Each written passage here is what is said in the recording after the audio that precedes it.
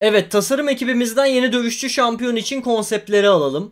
Aslında çok nazik ve centilmen ama sinirlenince düşmanlarını yumruk manyağı yapan heybetli bir Piltover robotu? Çağlar önce yükselmiş ve karanlığa sürüklenmiş, rakiplerini pençeleriyle ve dişleriyle parçalayan dev ve kana susamış bir Dark?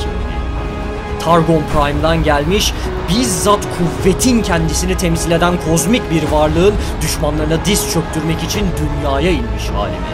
Yoksa anime kulaklı bir kabadayı mı? Anime kulaklı kabadayı ama şu kolları silelim, kol bacak zırhlarını çıkaralım bir de baklavaları iyice görünür olsun tamam mı? Bu çok iyi fikirmiş yalnız ha. Ahri'nin erkek hali gibi. Ne yapıyor bu? Yumruk mu atıyor? Güzel tutar bu. İyice kaslı çizin ama tamam mı? Niye bu kulaklar bu, bunda? Vastaya mı bu? Yarı vastaya. Vastayalar zaten yarım insan değil mi? Ha, 3 bölü 4 insan bu. Ne özelliği var vastaya olarak? Tilki kulağı hariç. O kadar tilki kulağı. Ha tilki de değil. Porsuk mu? Ne porsu? Bal porsu. Niye? Neyse anime kulağı varsa sorun yok. Yapın yapın bunu yapın. Yapın bunu. Güzel beğendim. Setin karşısında oynamaktan daha çok nefret ettiğim bir şey varsa o da yazık ettiği konseptlerin varlığından haberdar olmak. Ki karşısında oynamak gerçekten büyük çile çünkü asla takas kazanamıyorsun. Dürtersen can yeniliyor, burstlersen W atıyor, kayıtlarsan üstüne koşuyor, tankının arkasına saklanırsan tankı alıp kafana vuruyor. Ne yapacaksın abi bu şampiyona bak sinirlendim yine. Gelin yetenekleri üzerinden bir tek tek geçelim pasifinden başlayarak. Set güya bir sağ bir sol yumruk atıyor ve sağ yumruğunda ekstra özellikler var falan ama hiçbir şey ifade etmiyor çünkü set mainler şu şekilde oynuyorlar.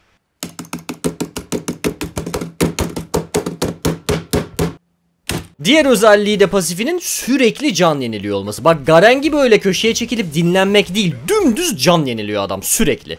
O yüzden dürtsen de etki etmiyor. Savaşı uzatırsan zaten geçmiş olsun.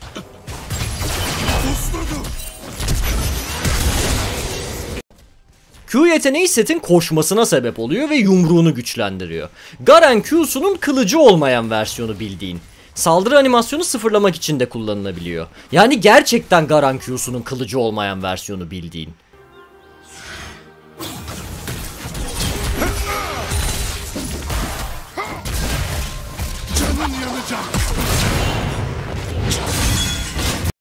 Bu karakterin W'su ne yapsın biliyor musunuz? Kalkan versin. Bir de alan vursun. Bir de gerçek hasar vursun. Bir de ne zaman basacaklarını anlasın diye insanlar sarı sarı parlasın sonra kafaları karışmasın. Efendim? Ne oldu olacak tuşa da mı biz basalım? Olabilir aslında onu, onu bir ekiple konuşalım. Gerçekten League of Legends'ta en nefret ettiğim yeteneklerden biri bu. Çünkü seti yenilmez yapan bir numaralı özellik belki de. Abi karaktere vurursan bu bar doluyor.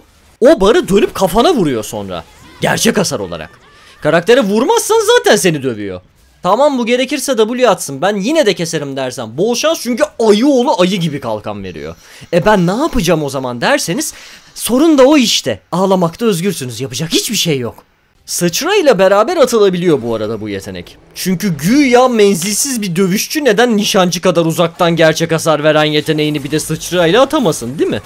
Ama çok da üzerine gitmeyelim şimdi çünkü karakterin yapabildiği tek böyle play diyebileceğimiz mekanik de bu sayılır zaten. E yeteneği iki karakteri alıp birbirine vuruyor. Aslında hoş bir yetenek dürüst olayım. İki taraftan da en az bir kişi çekerse sersemletiyor. Boş çekerse yavaşlatıyor. Adı da havalı surat dağıtan. E suratı da sahiden dağıtıyor hakkını yemeyelim. Genk atanları pişman eden bir numaralı yeteneklerden. Çünkü sen adama baskın atmaya gidiyorsun adam seni alıp diğerinin kafasına vurup ikinizi birden sersemletiyor. Hadi bakayım geçmiş olsun.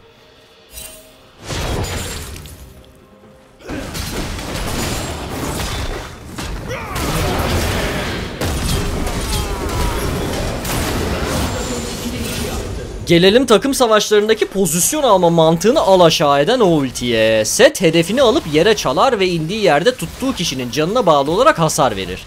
Yani ne kadar takımının önünde durması gereken bol canlı bir tankı alıp az canlı taşıyıcıların kafasına indirebilirseniz o kadar kar.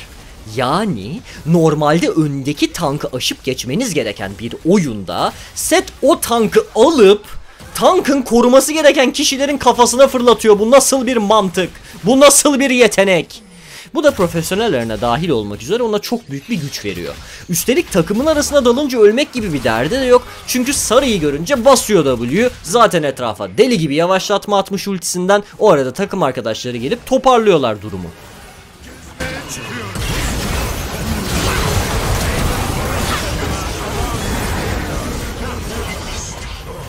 Yani sete karşı nelere dikkat etmeliyiz o zaman diye soracak olursanız yanıt basit.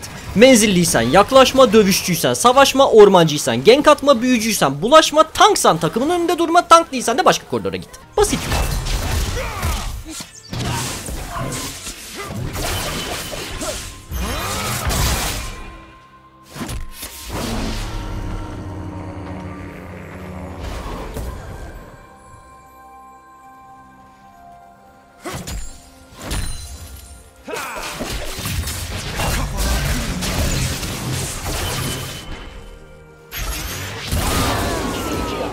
İşin kötüsü bu kadar oyunu kıran bir tipin bu kadar olaysız bir karakter olması.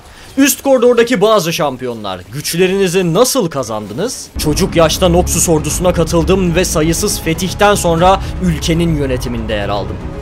İşgale karşı ülkemi ayaklandırdım ve özel bir büyü tekniğiyle düşman generalin kolunu kestim. Darkin efendimi öldürüp gücünü çaldım ve binlerce insan kurban ederek kan büyüsüyle güçlendim. Binlerce yıl önce yükseliş töreniyle güçlenmiş şanlı bir savaşçıydım ve hiçliğin ordularıyla bizzat savaştım. Ama imparatorluğum çöktükten sonra silahıma hapsedildim ve artık tüm dünyayı yok etme niyetindeyim. Mekik çekiyorum. Yumruk falan. Sonuç olarak set hikayesel derinliği de oynanış derinliği de derin olmayan bir anime boydur ve bu şampiyonla her kontrol altıya bastığınızda bir kelebek ölür. İzlediğiniz için teşekkürler. Diğer şampiyonlar hakkında ağlamamı izlemek için ekrandaki kartlara tıklayabilirsiniz.